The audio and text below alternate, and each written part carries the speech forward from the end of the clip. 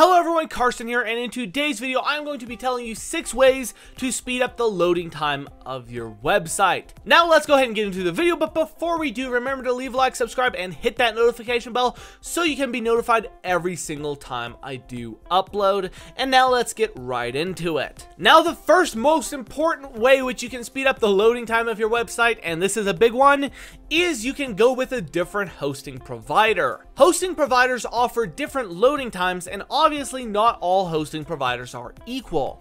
So if you do want to actually check out my recommendations for some of the fastest hosting providers and the best ones of 2021, go ahead and head down to my link in the description where I have my review of the top three website hosting platforms of 2021. And now let's get on to the next method. Do not use HTML image resizing. A common mistake a lot of newbies make is using HTML to shrink and resize images. And while this technique does work and seems harmless, it basically ruins your loading time and I do not recommend using it at all. The next thing you can do is optimize your images. What this means is essentially the human eye doesn't pick up on all, all all these HD 4K images which you're probably using on your website. So you don't need those. Go ahead and resize your images, scale them down, and change the quality of the images a bit lower. Like if you use a JPEG, maybe turn the quality down to 50%, and that will use up a lot less resources when loading your website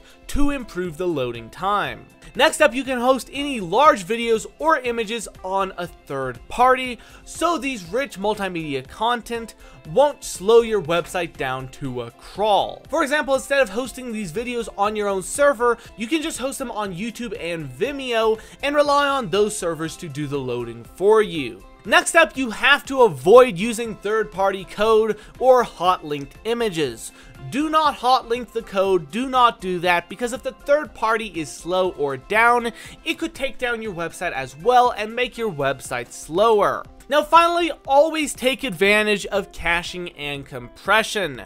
So if you have a very good shared web host with compression available or caching available, you can enable it on that website hosting platform and you can use that to your advantage to make your website load way faster. Now that does kind of lead into the conclusion, which is once again the easiest way to make your website load faster is actually to change hosting providers because odds are you don't have one of the best ones. So if you want to check out the best ones, head down to my link in the description where I review my top three website hosting companies of 2021. Thanks for watching. Remember to leave a like, subscribe, and hit that notification bell, and I will see you in the next video.